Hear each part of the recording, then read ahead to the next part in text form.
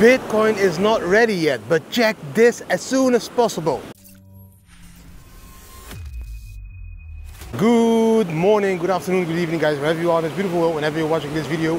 Welcome to the Bitcoin family channel. For the newcomers, my name is Didi. In today's video, of course talking about the news, I have great news from Argentina. Yes, also looking into the charts and of course uh, inspirational quote to end the video. Short but powerful video as I don't have too much time today. It's really busy for me at the moment with trading BamBam.me. Yes, DidiBamBam.me. Uh, even a song. Soon you will know more guys. Now, let's quickly jump into the news from Argentina. Bam.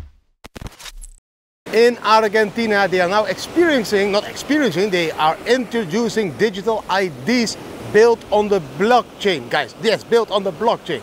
So now 3.6 million residents of Argentina received a digital ID. An ID that they are full in control of themselves on the blockchain.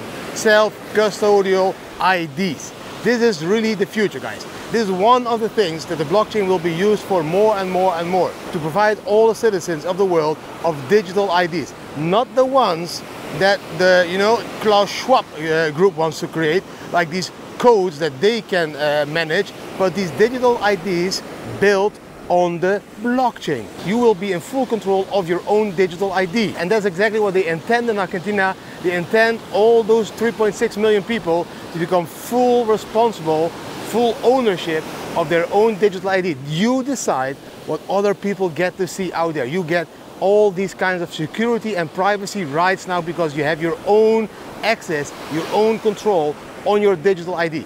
And it looks a little bit like the Palau digital ID that I have.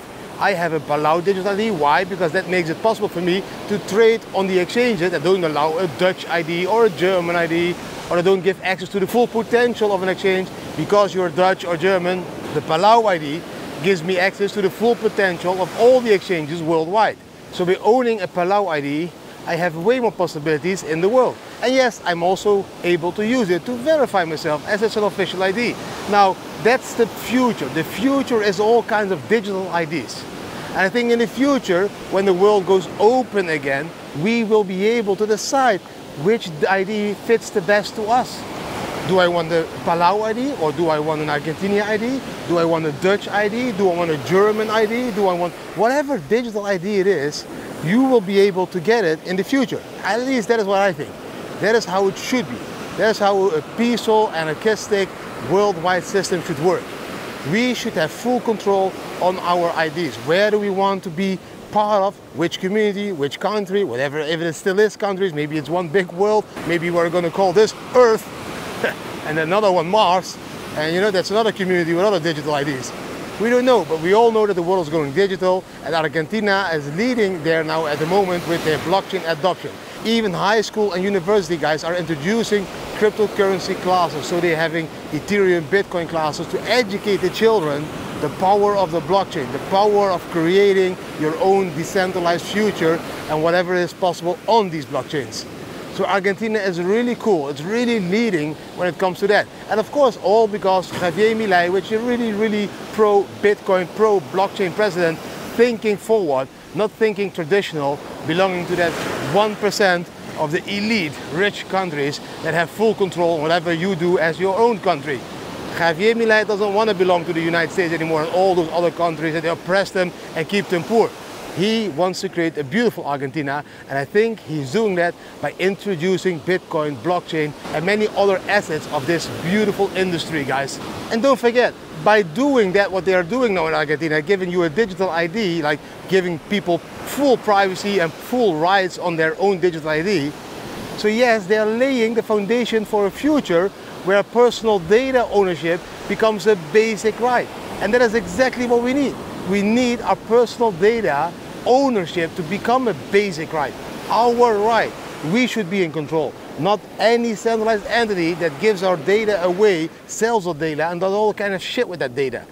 And then when we have introduced those digital IDs, etc., guys, all over the world, believe me, then we are ready to take it to the next level, voting on the blockchain. And when we start to vote on the blockchain, that is when the whole political system will be transparent and when no cheating can exist anymore because then everything is registered on the blockchain. And we all know the power of the blockchain. You can't change the entries that you did yesterday in a block. They will be there forever. So if you will have voting on the blockchain through a digital ID, completely anonymous, that is a decentralized future I see. Not the ones you heard Klaus Schwab talking about. Klaus Schwab is back. Tschüss. That was the news for today, guys. Now let's quickly jump into the charts to check what is happening to Bitcoin. Short term, mid term, long term. Let's see where we are going to go with Bitcoin. The first chart for today, guys, is this four hour chart again. Look, I told you yesterday that blue line will become support. We are turning the blue line in support at the moment. You can see we wick through the line, but we keep the bodies above that line.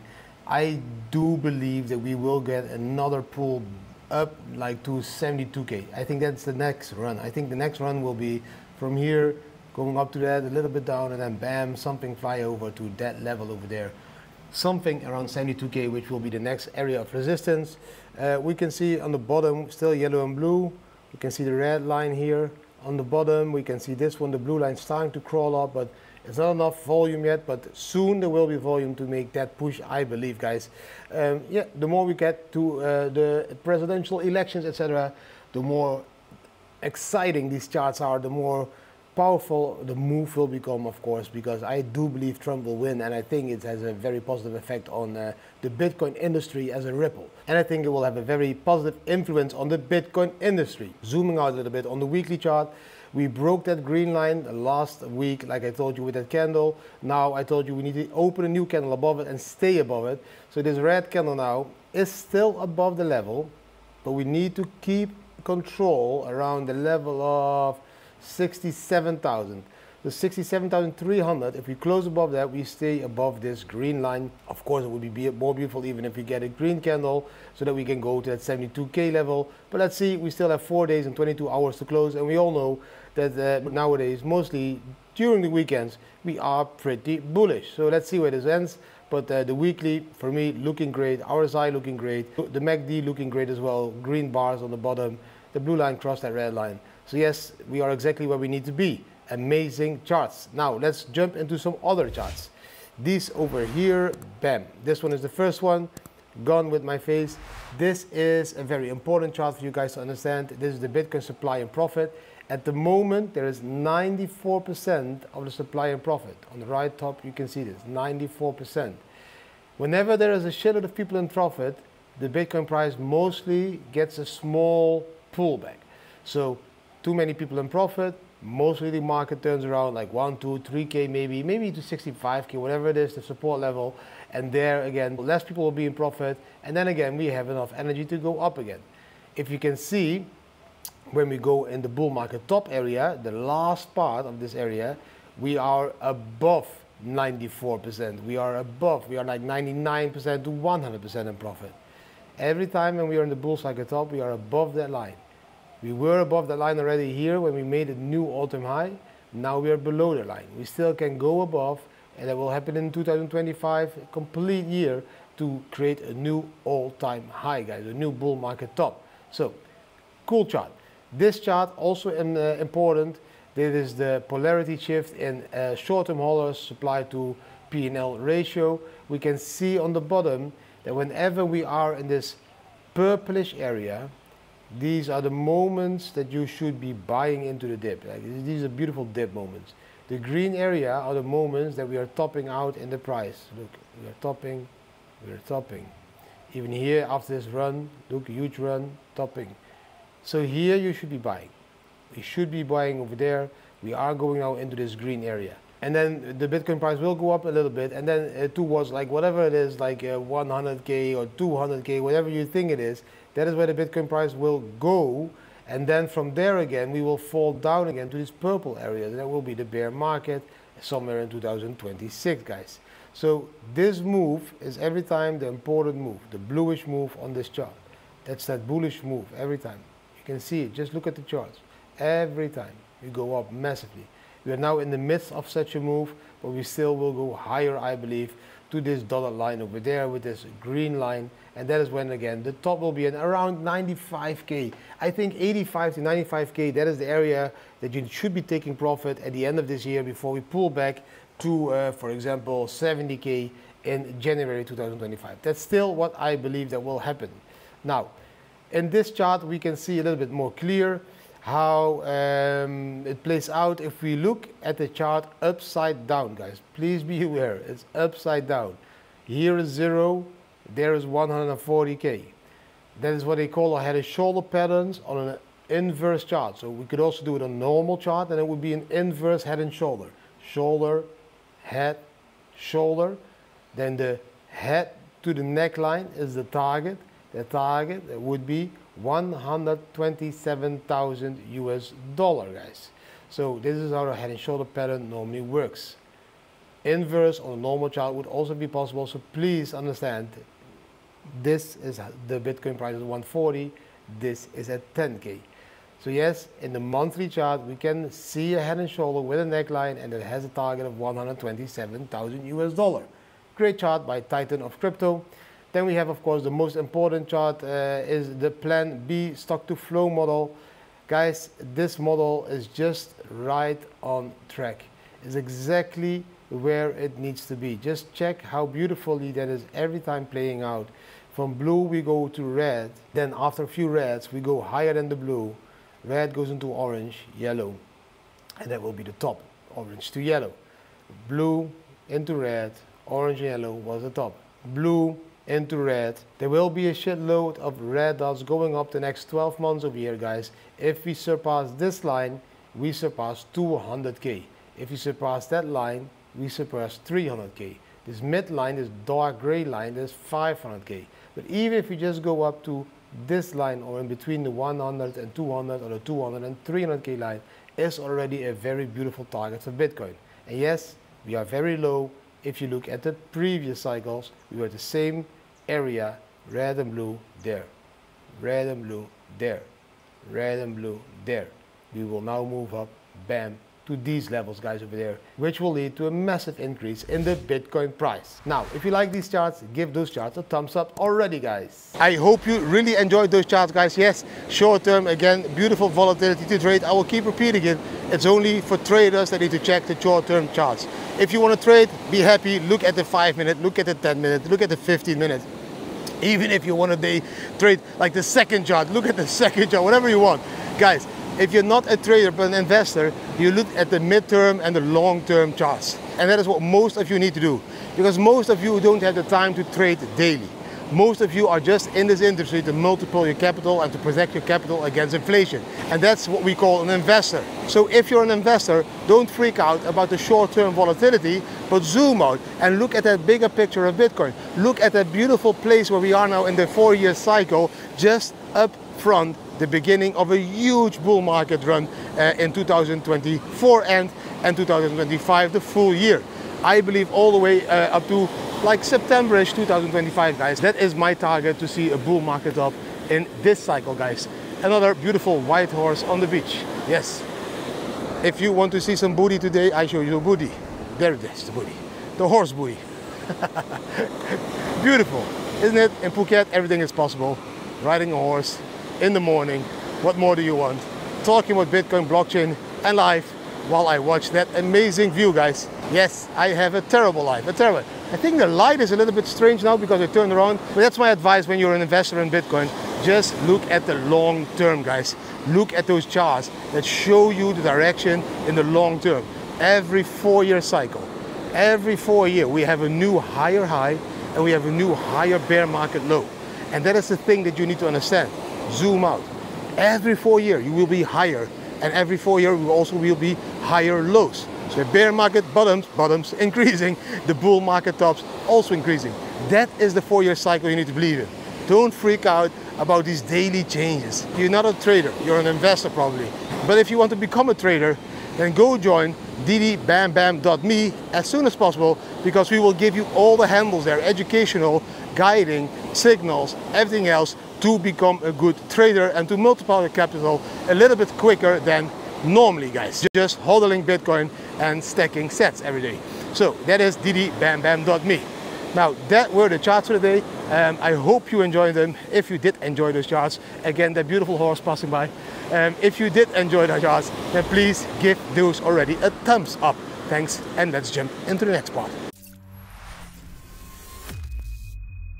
The inspirational quote for the day, guys. Um, the beautiful thing of learning is that no one can take it away from you.